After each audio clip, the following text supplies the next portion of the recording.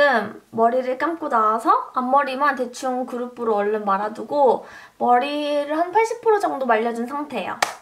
그리고 요즘 제가 진짜 너무 좋아하는 맥의 strobe tone-up 쿠션 컴팩트 요거를 사용을 해줄게요.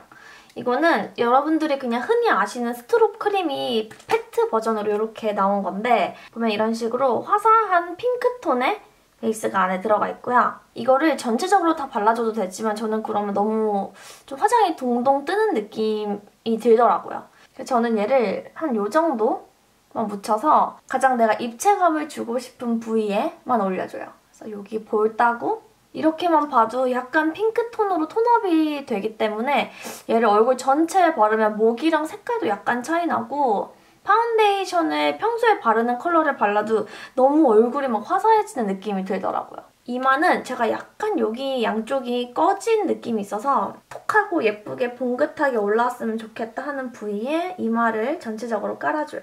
근데 이게 이렇게 번들번들거리니까 혹여나 뭉치지 않을까 빨리 유분이 올라오지 않을까 하실 수도 있는데 저도 그걸 되게 우려했거든요. 얘는 오히려 모공에서 나오는 유분을 막아주는 기능이 있어요. 그래서 화장이 더 쫀쫀하게 굉장히 찰싹하고 찹쌀떡처럼 되게 잘 달라붙거든요.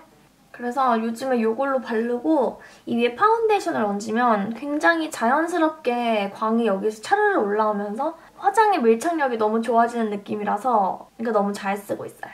이렇게 하면은 안쪽이 살짝 이렇게 광이 차오른 게 보이죠? 아무튼 이거 진짜 물건이에요. 너무 좋아요. 그리고 여기에 네이처 리퍼블릭 Provence air skin fit one day lasting 파운데이션 저는 porcelain 색상을 사용을 해줄게요.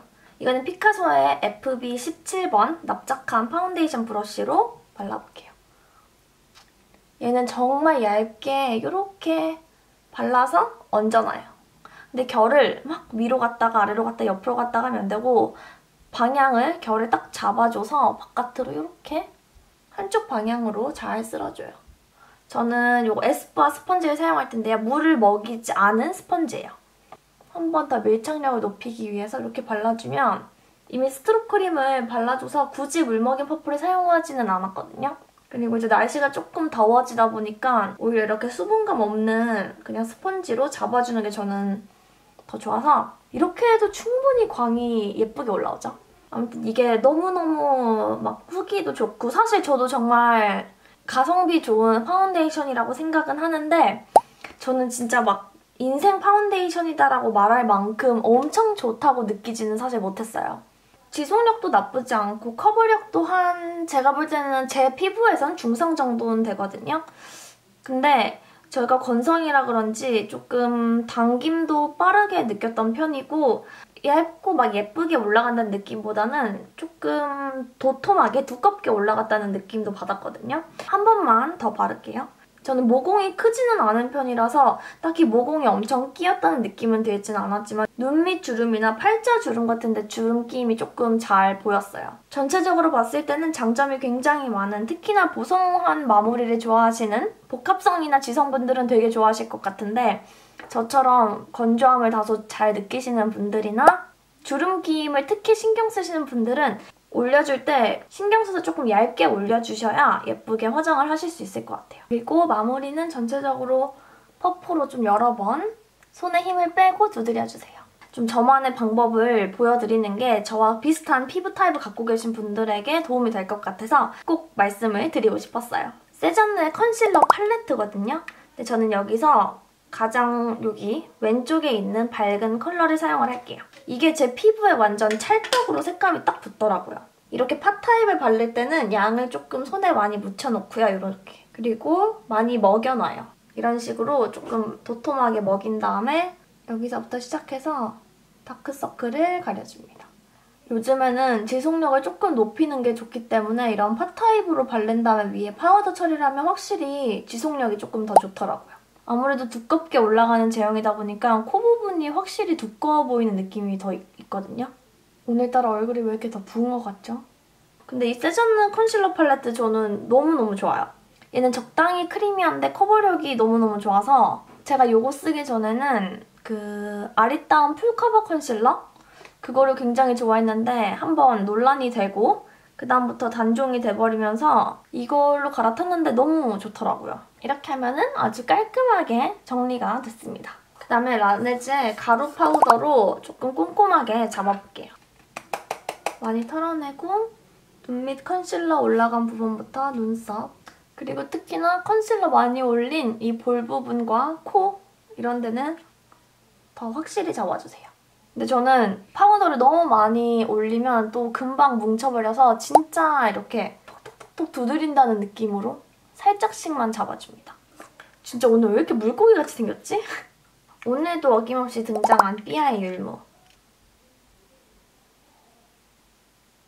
이렇게 왜 사람마다 닮았다고 스스로 생각하는 혹은 남들이 너 뭐 어떤 동물 닮았다 얘기하는 게 있잖아요. 저는 그게 항상 나무늘보 아니면 약간 물고기과였거든요.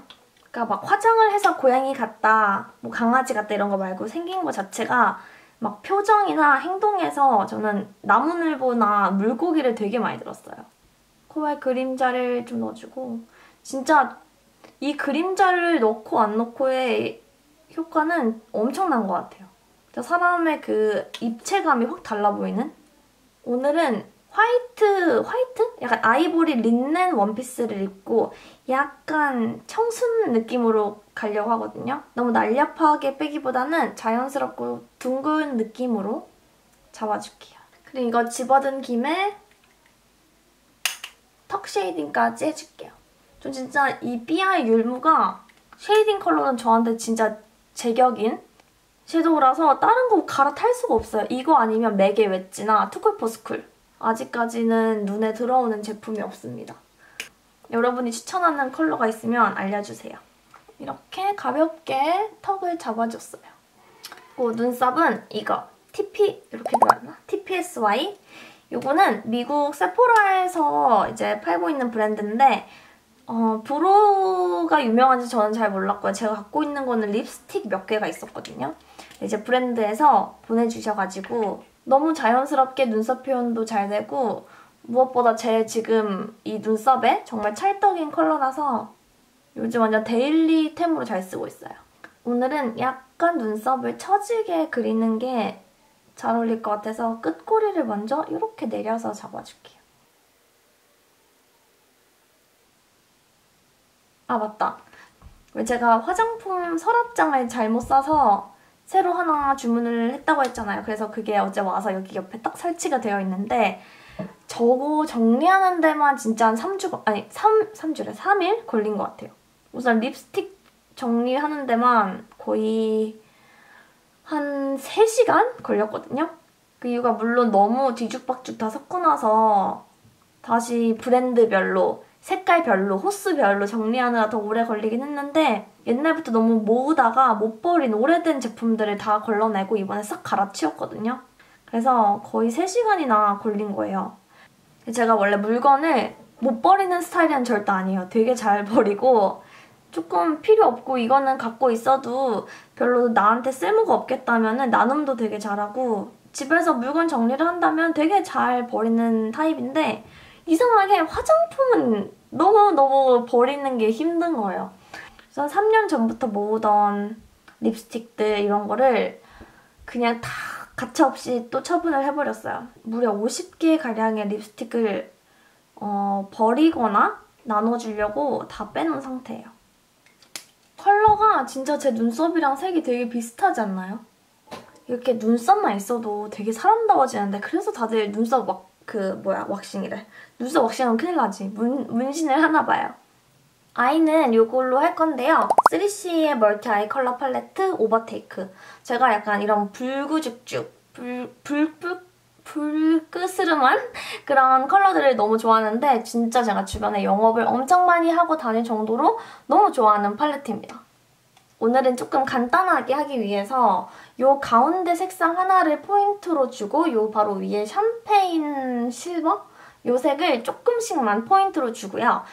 그래서 오늘은 메인은 이 두 컬러를 합쳐서 조금 바세린 광 나는 그런 붉은 펄 기운을 가득 넣어줄게요. 그래서 이거랑 얘를 좀 섞어서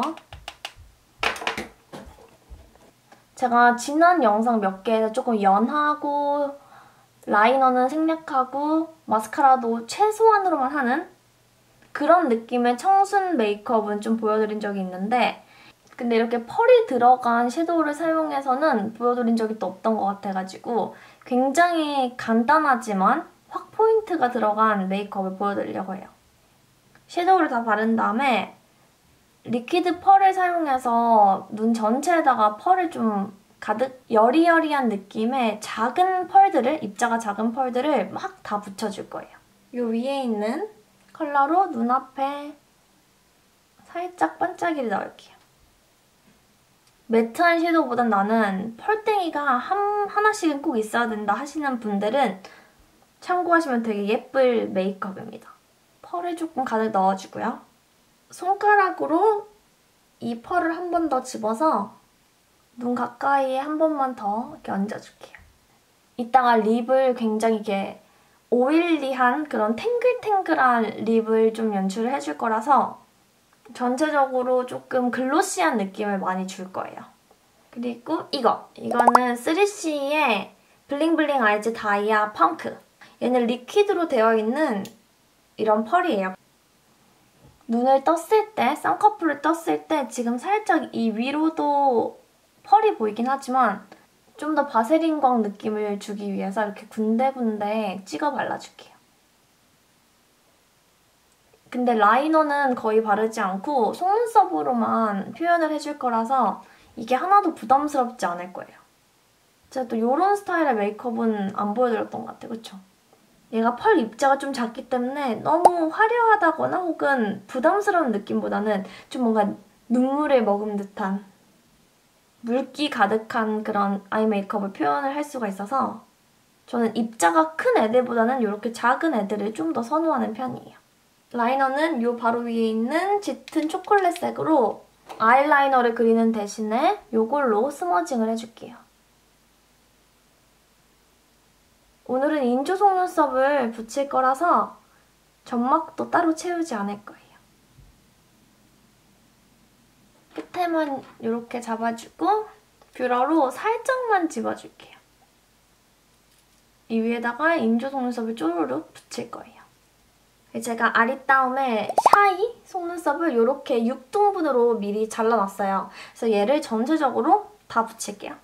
속눈썹을 붙일 때는 앞에 말고 저는 뒤에서부터 시작을 해줘요. 제가 갖고 있는 눈썹보다 살짝 더 길게 뒤로 붙일게요. 여러 번 말씀을 드렸지만 제 눈은 아이라이너를 했을 때보다 마스카라를 했을 때좀 확실히 빛을 발하는 그런 눈 모양이라서 특히나 이렇게 좀 청순한 느낌을 내고 싶을 때는 아이라이너는 더더욱 생략을 해주는 편이에요. 딱 이 정도까지만 붙여주고 앞에는 남겨줄게요. 좀 자몽스러운 색이 들어가면 예쁠 것 같아서 컬러그램 힙앤시도 8번 꿀 동동 자몽청 이런 매트한 섀도우인데 진짜 딱 말 그대로 자몽색이에요. 굉장히 화사한 색상이라서 눈에다가 전체적으로 한번 넣어줄게요.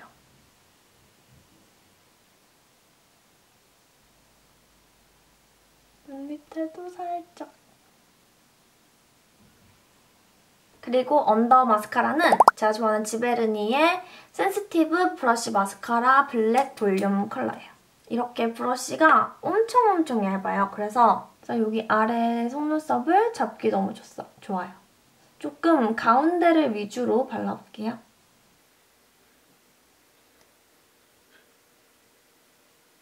이제 립이랑 블러셔가 남았는데 오늘 립과 블러셔가 굉장한 포인트거든요. 이제 우선 립을 먼저 발라볼게요. 이거는 가운도담의 청순 rose hip tint lip oil. 이거는 굉장히 맑은 체리 레드 색상인데요.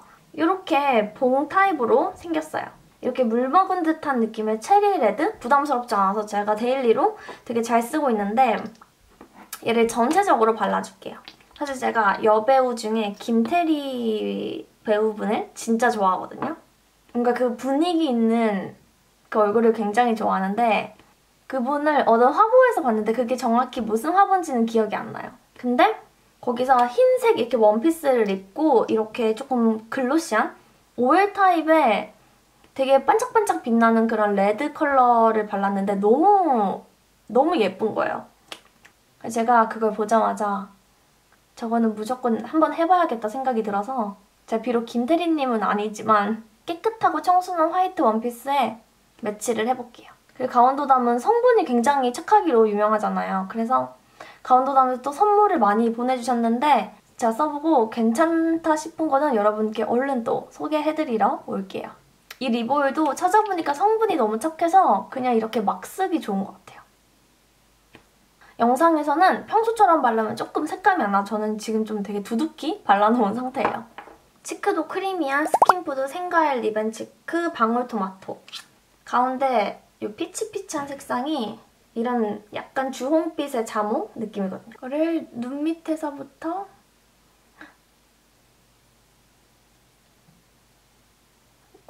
그리고 콧잔등으로 살짝만 넘어올게요.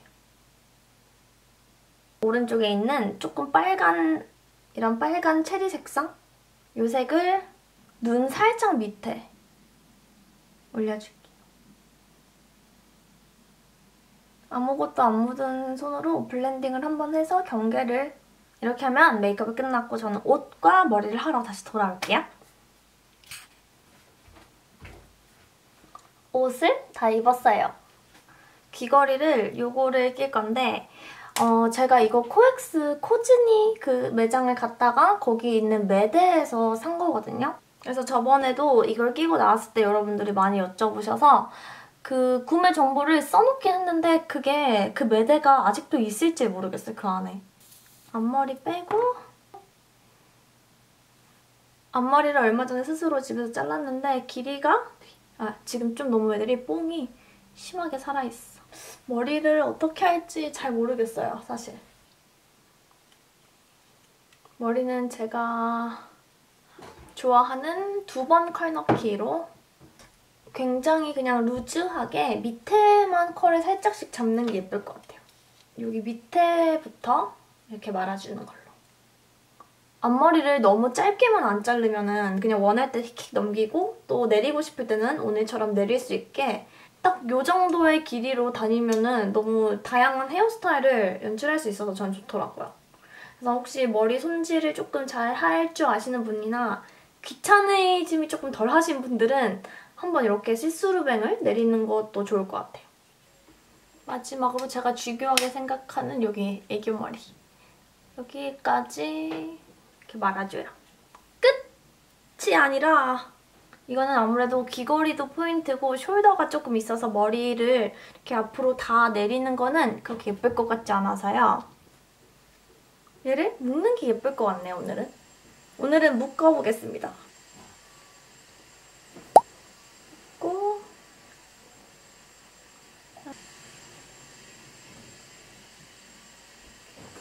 여기까지 오는 긴 리넨 소재 흰색 원피스고요. 옆에서 보면은 여기 끈을 이렇게 묶을 수 있어서 허리가 굉장히 잘록해 보이는 효과도 있습니다. 그리고 이거는 제가 사실 어디서 샀는지 진짜 기억이 나질 않아요. 길 가다가 샀는데 어디서 샀지? 아무튼 좀 뭔가 피크닉하는 느낌의 이런 룩을 오늘 딱 입고 나가면 예쁠 것 같아서 이렇게 다녀오겠습니다. 최근에 제가 그냥 섀도우 막 하나만 쓰고 라이너 없이 그냥 마스카라로만 강조하는 그런 좀 minimal하고 청순한 느낌의 메이크업을 몇 번 해봤던 것 같아서 그래서 이렇게 물 먹은 듯한 탱글탱글한 립이 강조가 되는 저만의 뭉캉 스타일의 청순한 메이크업을 완성해봤는데요. 여러분들도 재밌게 봐주셨으면 좋겠고요. 그럼 전 또 다른 Get Ready With Me로 돌아올게요. 그럼 우린 다음 영상에서 만나요. 그럼 안녕!